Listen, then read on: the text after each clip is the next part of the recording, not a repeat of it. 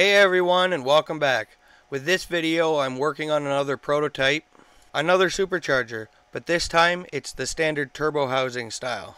In this video I'm also getting two birds with one stone and we're testing my more compact planetary style gearbox for the superchargers that I have designed that will also fit on the regenerative style.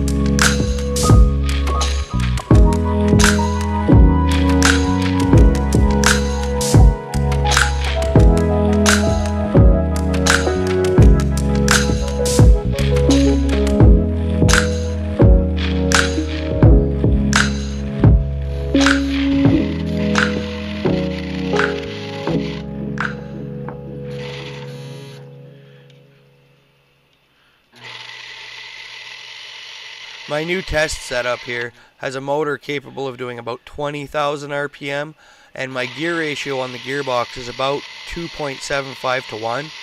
With the gearing on the belt, that gives me a ballpark range of about 40,000 RPM max. During testing, I was shooting for about 30,000 RPM and you'll see why I kind of had to stay under that number a little bit very quickly. After about three or four minutes of breaking it in, I noticed that the cheap bearings I'm using are not taking the high speed very well. Depending on which data sheet you look at, there's a ballpark range between 15 and 25,000 RPM for the bearings I'm currently using. And I bought cheap ones, so chances are they're less than 15,000 usable RPMs. But we'll see how long it holds up. For the flow test now, I get a little lower than we would have previously on the regenerative blowers. However, these usually blow a little bit more pressure and a little bit less air as a result of the design. This could be mediated with running it at higher speed, which I have limitations here. I could always change that with gearing down the road though.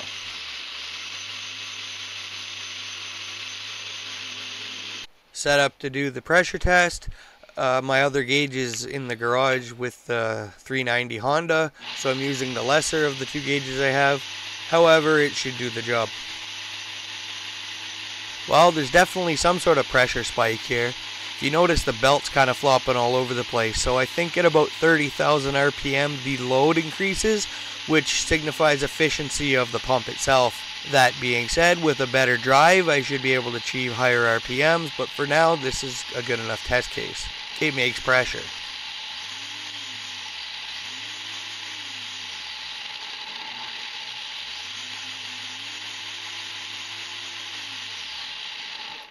Here you can really see the belt I'm using flop around under load.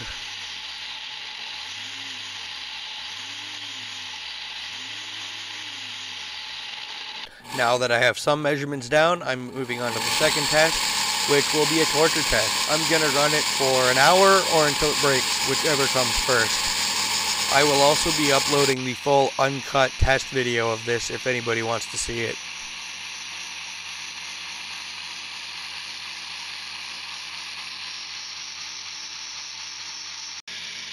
After running for a few minutes, the gearbox starts to get warm but not hot. If heat becomes an issue, I would have to run some sort of closed loop cooler system, which is possible with the design I'm working with.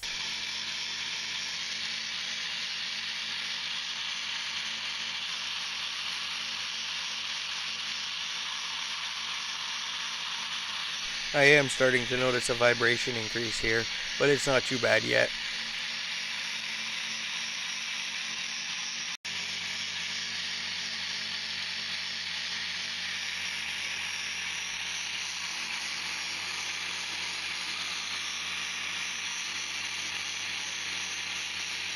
At about the 11 minute mark here, it starts to kind of pulse. The load seems to increase and decrease, and I don't know how much longer it's going to last.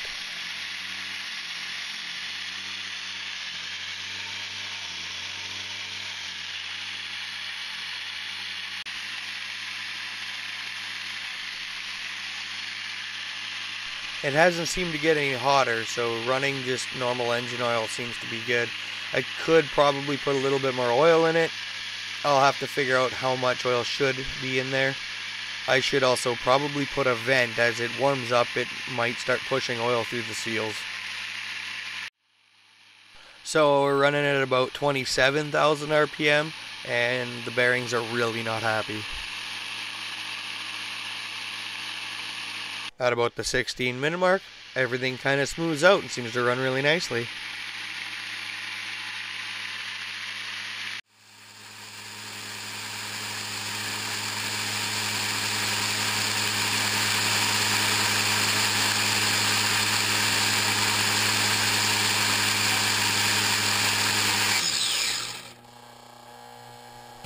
At about 16 minutes and 37 seconds, something locked up. When I turn it by hand, you can tell it's really stiff, but something's slipping inside. So something seized up and then something else let go. So I'll have to pull it apart and see what it was. Because it's filled with engine oil and I'm in the house, I'm going to use this tray to make sure I don't spill any oil anywhere. And I'm going to take it apart and see what went wrong.